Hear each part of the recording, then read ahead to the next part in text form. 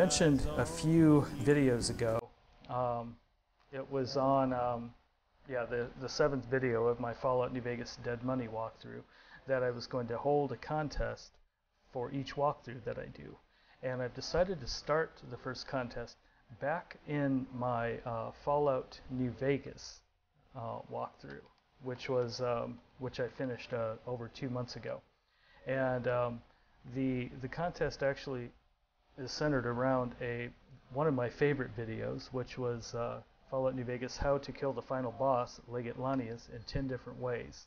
And um, you might have you might remember this. It was quite a popular video, um, uh, except uh, um, it wasn't a part of the the actual walkthrough. It was kind of a, an afterthought video, but I I really enjoyed making it, and um, if you remember, it was a uh, there, it was it just showcased 10 different ways to kill the boss, the very final boss, with 10 different weapons. And you see the Gauss rifle um, uh, activated right now, and I blast him in the face with that that thing enough times that it kills him.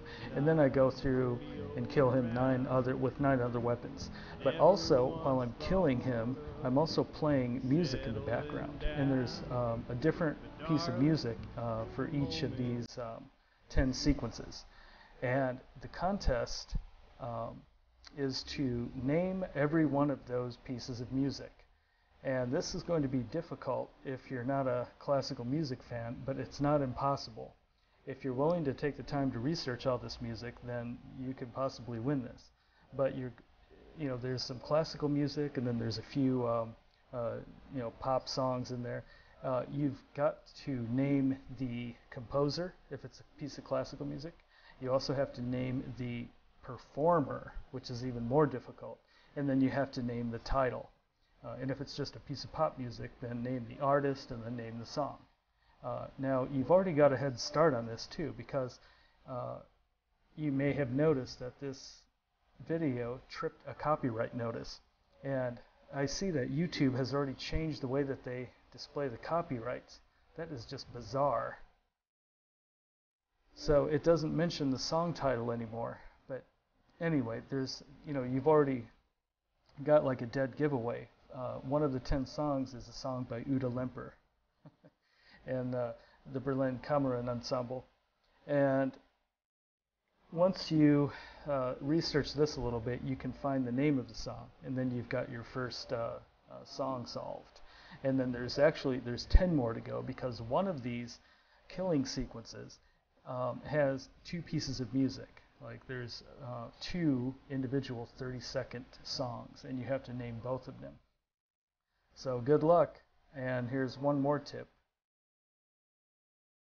So this is what I recommend doing.